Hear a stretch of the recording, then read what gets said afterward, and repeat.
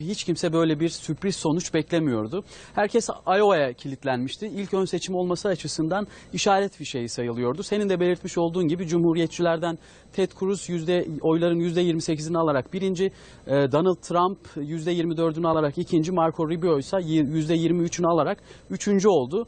E, Demokratlardaysa durum çok daha karmaşık. Hillary Clinton ve Bernie Sanders %49.9 ve %49.6 ile aslında bir, bir noktada birinciliği paylaştılar diyebiliriz. Ancak yorumlar çok farklı çünkü ee, kısa bir süre önce Donald Trump şunu söylemişti. İkinci olanı hiçbir zaman tarih hatırlamaz. Önemli olan bir numaradaki kişidir. Şu an kendisi ikinci oldu. Aslında bu sonuç Cumhuriyetçilerde Donald Trump'ın e, medya tarafından özellikle ciddi anlamda desteklendiği ve cilalandığı sonucunu ortaya çıkartıyor. Aynı zamanda Cumhuriyetçilerin hala bir aday üzerinde netlik kazanmayan bir durumunun da söz konusu olduğunu gösteriyor. Çünkü hala 3 adayın oranları birbirine çok yakın ancak Ted Cruz başından beri çok temkinli bir şekilde yavaşça ilerliyordu. Aslında Iowa'da da bunun sonuçlarını gördü.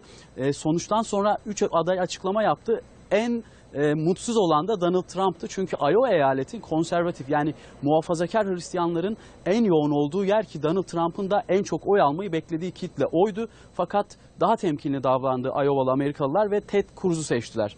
Demokratlarda durum biraz daha karmaşık ve şaşırtıcı. Çünkü Bernie Sanders sosyalist bir aday olduğunu söylüyor. Ee, çok uzun zamandır Soğuk Savaş dönemlerini hatırlayın. Sonrasında Amerika'nın kapitalizmin başkenti olması, kapitalizmle kendisini var eden bir ülke olması ve gelinen noktadaysa eski başkanlardan Bill Clinton'ın eşi ve Dışişleri Bakanı, eski Dışişleri Bakanı Hillary Clinton'ın karşısında ciddi anlamda birinciliği paylaşan ve sosyalist olduğunu iddia eden Bernie Sanders'ın başarısı. Bu ikili de bu seçimlerden sonuç sonra birer konuşma yaptı ve gerçekten Hillary Clinton dahi Bernie Sanders'ın başarısının yatsınamayacağını söyledi. Bernie Sanders kürsüye çıkarken gözler ondaydı. Neler söyleneceği bekleniyordu. E, sol yumruğunu havaya kaldırarak yürüdü. Herkese teşekkür etti ve Amerika çok zengin ama bu zenginlik sadece yüzde ikinin cebinde.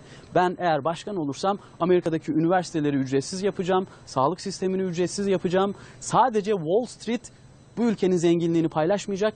Emekçiler, işçi sınıfı da bu ülkenin, ülkenin zenginliğine sahip olacak diye çarpıcı açıklamalar yapmaya devam etti. Peki bundan sonra ne olacak? Bundan sonra geriye 49 eyalet kaldı. O 49 eyalette ön seçimler yapılmaya devam edilecek. 5 ay boyunca Haziran ayın sonunda da asıl adaylar belirlenmiş olacak. Ancak Amerika'da sürprizler muhtemelen yaşanmaya devam edecek. Özlem?